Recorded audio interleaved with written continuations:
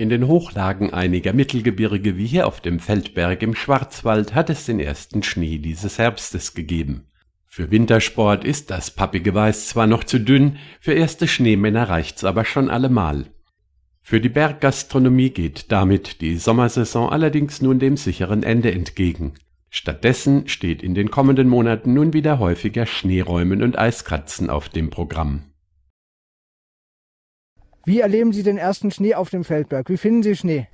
Ja, wunderbar. Was die Mutter Natur uns gebe, muss man annehmen. Was haben Sie heute im Schnee schon gemacht? Ich getobt und einfach durchgelatscht mit dem Hund am Morgen schon. Sind Sie eher Wintermensch oder Sommermensch? Ich bin für alles auf. Dankeschön.